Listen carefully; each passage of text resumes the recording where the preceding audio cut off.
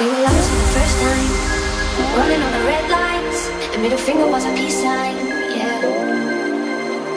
We were sipping on emotion, smoking and inhaling every moment. It was reckless old day, yeah, yeah.